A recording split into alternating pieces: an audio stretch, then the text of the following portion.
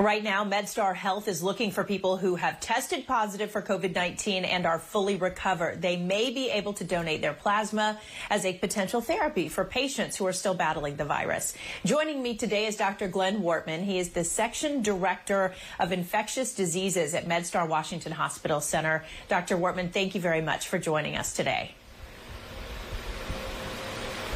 No, thank you for having me.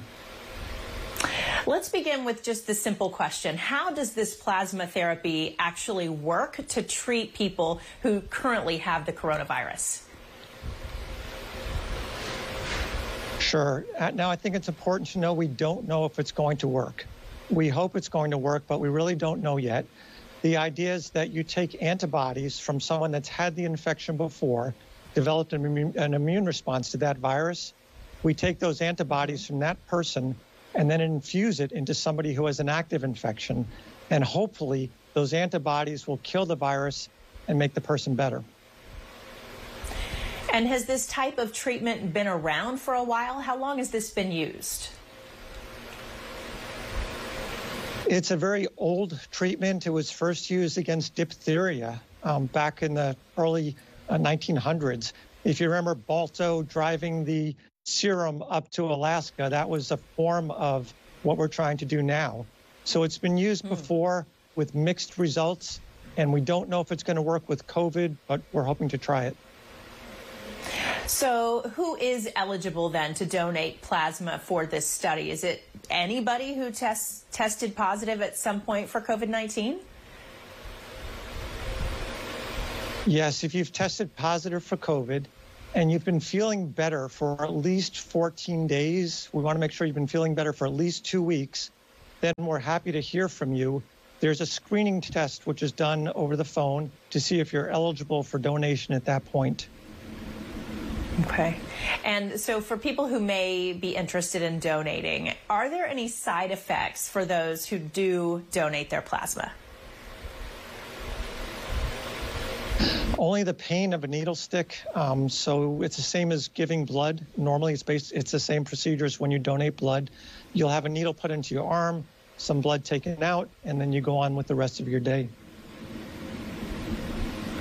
And can people, what do they need to do if they're interested in donating? Who should they call and what steps should they follow?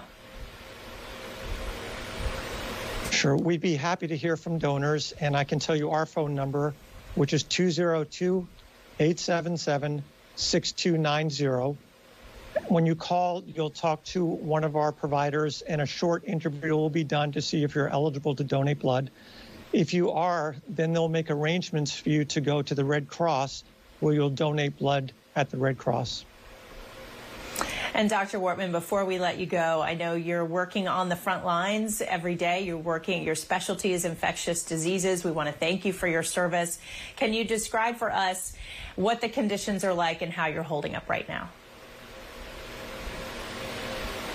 The, the, people here are phenomenal. All healthcare providers are just unbelievable. The nurses, the physicians, everybody in the hospital is doing a great job um, at taking care of these incredibly sick people morale is good, and we're doing what we're trained to do. And I was asking you earlier when we were chatting in the commercial break if this experience for you compares to anything else since you've been practicing. And you told me you were in the military. Describe a little bit for me the comparison there.